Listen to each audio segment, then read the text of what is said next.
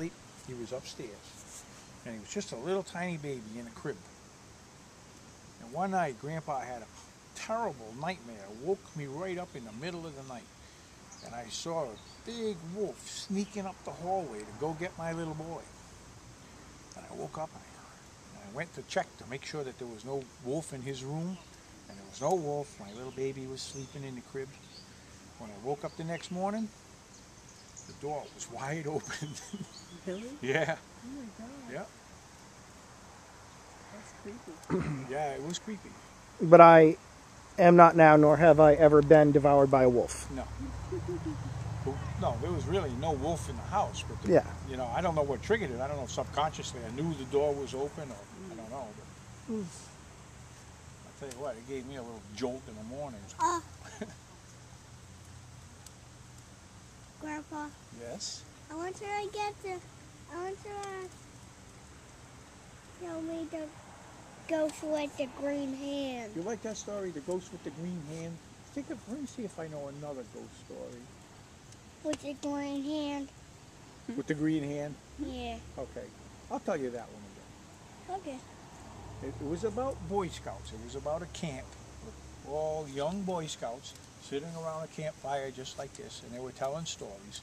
And the older Boy Scout, who was their leader, told a story about the ghost with the green hand. He said, after it's dark and the moon comes up and it's, the moon is just right, you have to be careful here because right in this area there's a ghost. There's a ghost with the green hand. And if you see a green hand come into your tent, the only thing you can do is put a candy bar in his hand. If you do, he'll go away. If you don't, he's going to come in your tent and So, after the campfire was out and it was really dark and all the Boy Scouts went into their little tents and the moon came up and it was just right, the first little boy was laying down in his tent, just falling asleep, and he heard outside his tent, he heard moo, moo, and he got afraid. Then he felt something near his bed. And there was a green hand coming under his tent, near his bed. So he said, Oh, the ghost is going to get me. And then he remembered he had a candy bar in his knapsack, so he put the candy bar in the green hand, and it disappeared. And he was okay. The ghost went away. And then a few minutes later, in the next tent, two little boys were sleeping in that tent, and they heard woo, and they were really afraid. And then they felt something near their bed. And under the tent came a green hand. And they said, "Oh no, it's the ghost with the green hand." And the other little boy said, "Give him a candy bar." And they took a candy bar and they put it in the hand, and it disappeared. And then in the next tent, the little boy was a little bit smart, and he heard woo.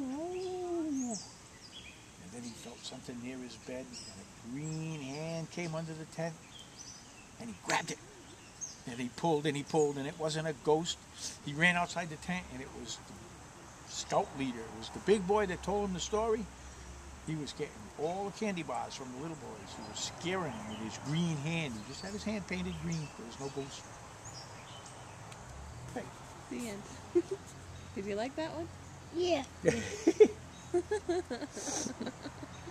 hey, Hey, what? We're not doing very well with Wait, the fire here, are we? wait a minute. What happened to my fire? How come it keeps going out? I'm Gonna have to go get some liquid Boy Scout, I think. Wait, I, I'm gonna come. You're gonna come? Yeah. You be careful. little bit of Oh, not so close. You guys stay here. And I'll come back and the people will come back. Um, I don't have to go anywhere yet. I'm gonna try this one more time.